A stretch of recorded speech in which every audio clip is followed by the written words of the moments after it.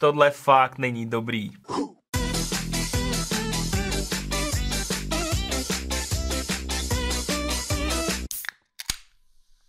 Zdravím všechny milovníky dobrého jídla a pití a asi po roce vás konečně zase vítám u další ochutnávky hotovek ze supermarketu. Tentokrát splním přání stovek, možná i tisíců z vás, protože dneska spolu konečně ochutnáme hotovky z Teska. Abych řekl pravdu, tak mě na tohle video namotivoval jeden náš divák, který mi řekl, že v Tesku teďkonc mají nějaký nový hotovky, který se jmenují Calorie Control, a pak tam jsou nějaký finest hotovky, které jsou zase o trošičku lepší, o trošku dražší. Z těch kalorií kontrol se mi podařilo sehnat dvě, nejsem si úplně jistý, jestli to jsou všechny, nebo jestli existují nějaký další. Popravdě v tom Tesku, kde jsem to kupoval, tak v tom byl docela velký bordel. Nicméně, jak jsem říkal, celkově tam těch hotovek bylo snad 20. Koupil jsem dneska celkem 6 a pokud by se vám dnešní video líbilo a chtěli byste pokračování, abychom třeba ochutnali i ty luxusnější Tesco Finest hotovky, tak tam hoďte 6666 lajků a hned tam zase zajedu a koupím je pro vás. Do zřetí už jenom z těch obrázků se mi zbývá stíhají sliny, tak to pojďme začít ochutnávat. Tady je máme před sebou schválně, jsem vybíral ty nejzajímavější nebo ty, který by mi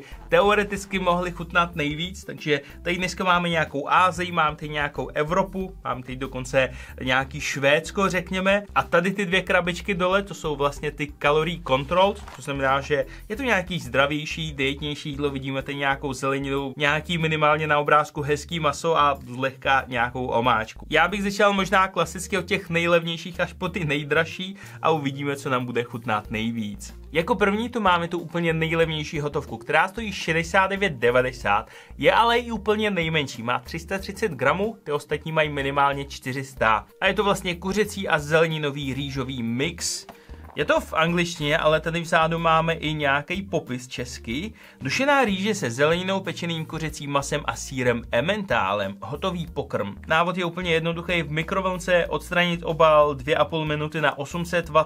Když se mrkneme na složení, tak 74,2% tvoří rýže, pak žampiony, pitná voda, mléko, hrášek 12%, mrkev 8%, konzervovaná kukuřice 5%, je to nějaký maso pro boha? Jo, už to tady vidím. Pečené kuřecí maso 21,2%. Kuřecí stehno a sír Emmental 4,5%. Já se úplně nejsem jistý, jestli má cenu kontrolovat tu hmotnost, ale tak pojďme pro jistotu a i s obalem to má 353 gramů, takže na gram perfektní by to mělo být. Takhle to klasicky propíchnem Tady když se podíváte zblízka, tak to vypadá fakt pěkně. I toho síra je tam docela dost a jak tam se liží, by tam mělo být stehenní maso, tak se domnívám, že to nebude ani nějak extra suchý. Takže to pojďme hodit na ty dvě minuty do mikrovlnky a uvidíme, co nám z toho vznikne. No máme hotovo a musím říct, že to voní opravdu příjemně. Šlo to úplně krásně otevřít, což musím pochválit zvlášť. A koukejte na tohle.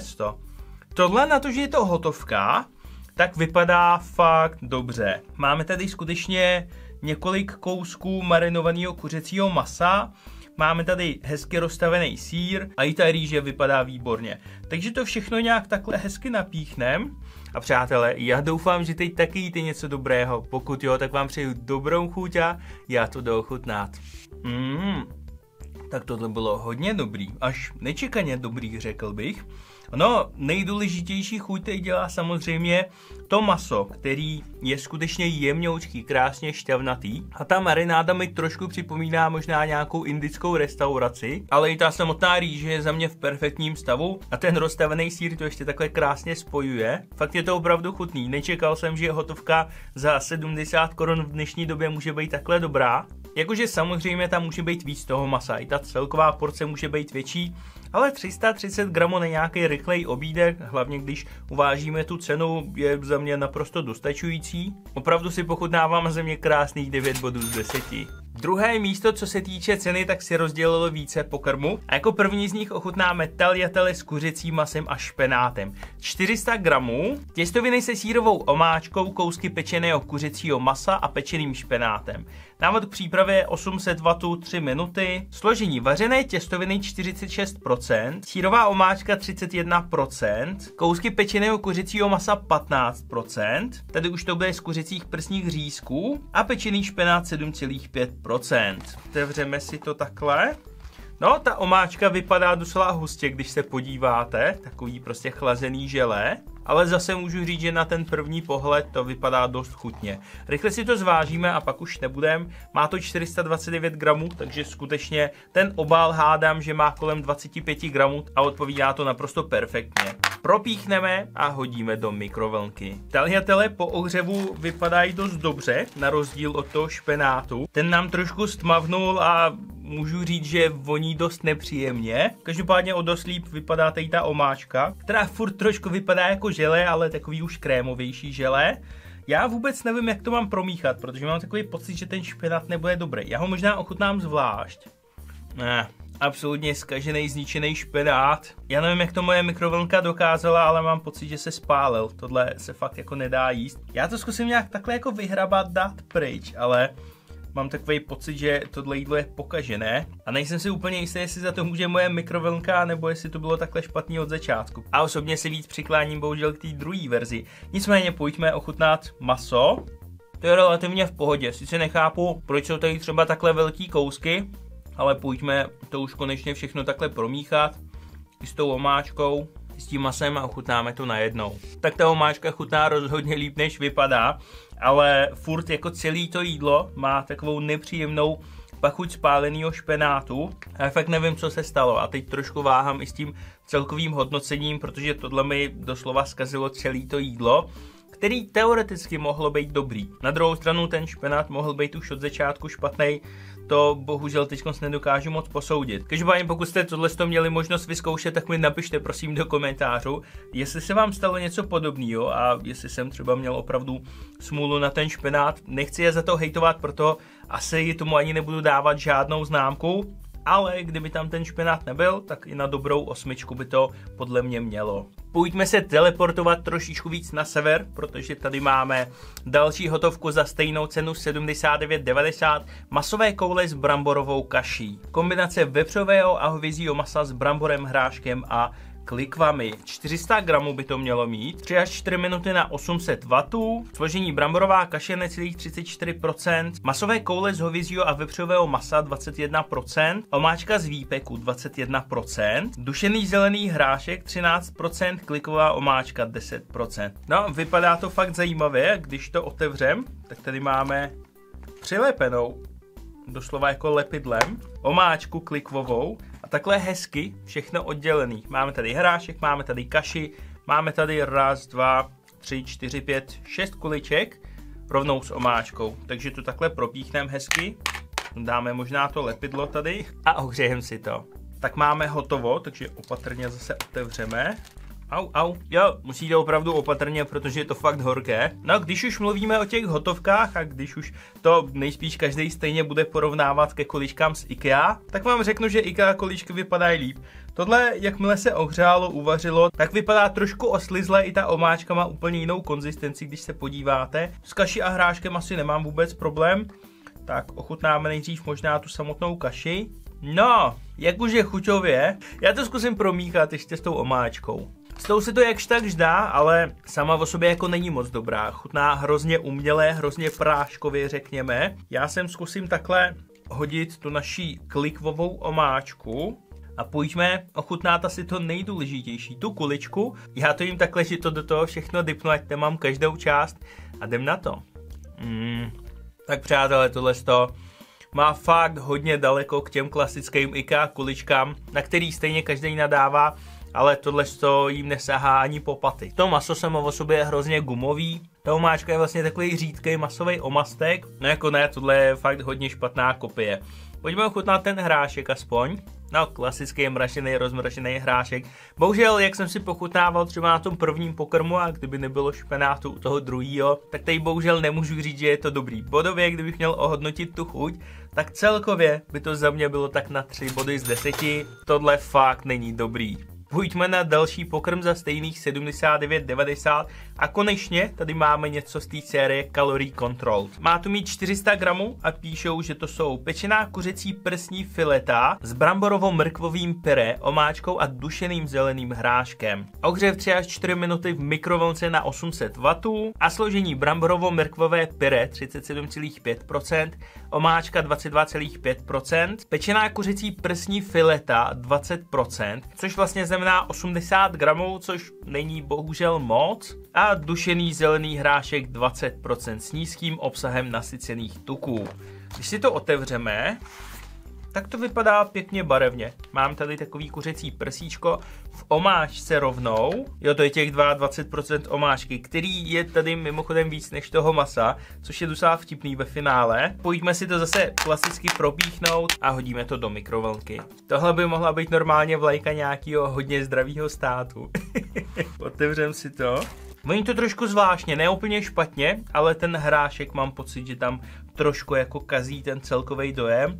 Já bych začal možná s tou kaší, která by nejspíš chtěla pořádně promíchat předtím, než se začne konzumovat. Tak tohle už vypadá i vizuálně o dost líp. Taková trošku lepkavá, trošku nasládlá. Není to špatný. Asi v pohodě kaše. Pojďme ochutnat ale to nejdůležitější. Ten náš kuřecí filet v omáčce.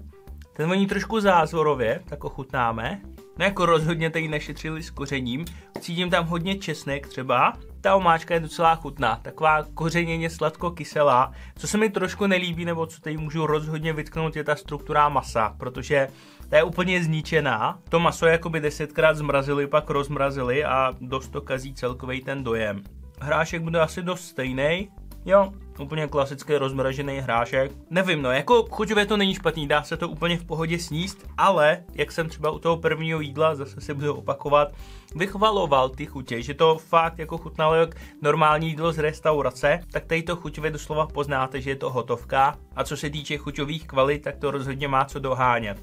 Bodově, kdybych to měl nějak ohodnotit a měl bych být zase co nejvíc objektivní, tak je to takových 6,5 z 10 řekněme a spíš jsem trošku zklamán. Pokračujeme na trochu dražší jídla, tohle už stojí 89,90 a je to zase série Calorie Controlled. Filet z lososa s bramborama a zeleninou. 400 gramů, Pečený filet z lososa v petrželovo-koprové omáčce s dušenou zeleninou a vařenými brambory s koprem. Tohle by se mělo ohřívat až 5 minut na 800 W.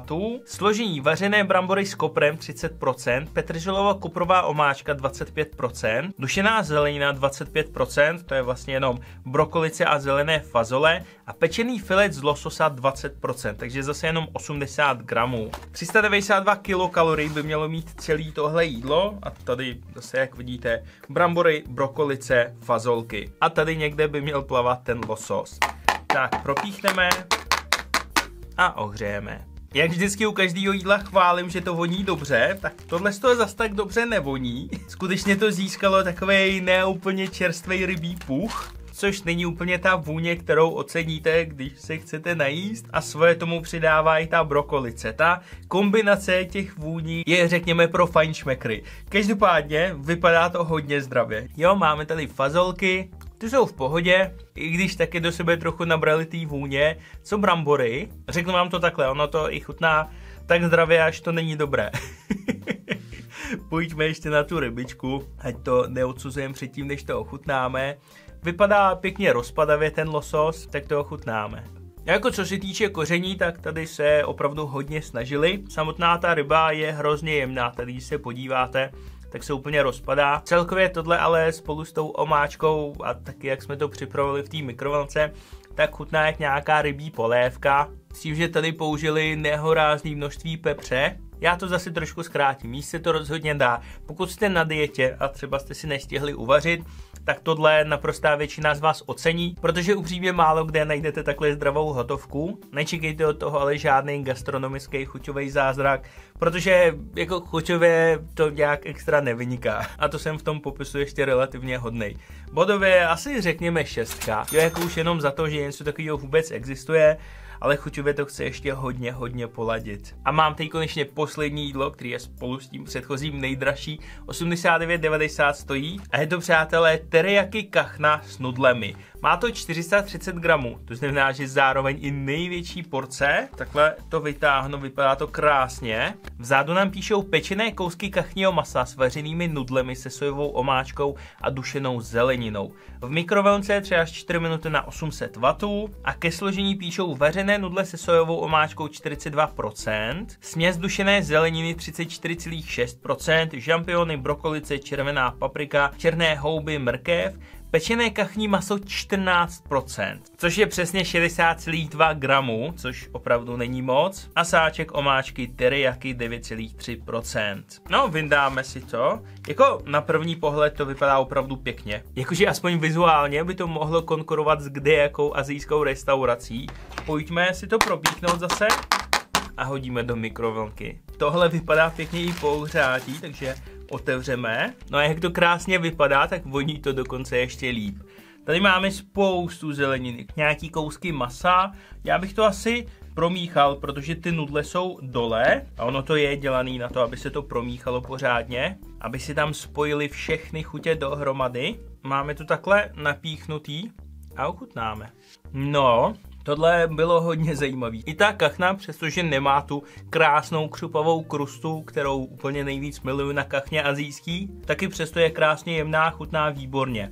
A dokonce i to množství kachny je překvapující, vizuálně teda. Jak jsem se bál podle těch gramů, tak ve skutečnosti je to asi tak akorát. Už jsem chtěl říct, že mi tady chybí nějaká omáčka, ale vzpomněl jsem si, že jsme ji tady měli, takže to tam pěkně nalejem takhle.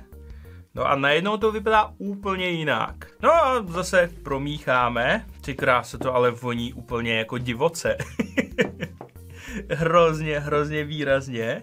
Až si možná říkám, že bez té omáčky to vonilo líp, každopádně, ale musíme to ochutnat tak, jak to zamýšleli, takže jdeme na to. No jako tu chuť to změnilo úplně totálně. Už to vůbec není suchý samozřejmě, nicméně ta chuť je taková hodně silně sojová, taková nasládla, má možná až takový trochu alkoholový nádech. Hm, nevím, nevím. Jakože buď tam dá třeba třetinovou porci od toho, co jsem tam nalil, anebo já osobně bych možná úplně vyměnil to omáčku. Každopádně ale hodně zajímavý jídlo s takovým trošku azijským nádechem a kdybych to měl ohodnotit nějak bodově, tak na takových 8,5 bodů z 10 by to určitě mělo. Tak přátelé, tohle byla naše dnešní ochutnávka hotovek z Teska. Já musím říct, že ve finále jsem si docela pochutnal, nebo minimálně jsem našel alespoň dva svoje favority. Trošku mě mrzí, že to, na co jsem se těšil úplně nejvíc, na ty kalorii kontrol jídla, tak mi úplně chutivě nesedly, ale jak se říká 100 lidí, 100 chutí a věřím, že se najdou tisíce lidí, kterým zase chutnat budou. Pokud se vám tohle video líbilo, tak ho nezapomeňte sdílet a hoďte tam like, protože pokud dáme 6666 lajků, jak jsem říkal na začátku, tak rovnou vyrážím pro ty luxusnější Tesco Finest hotovky. A pro dnešek je to ode mě všechno moc díky, že jste se dneska dívali a budu se vás těšit u dalšího videa zase. Ahoj.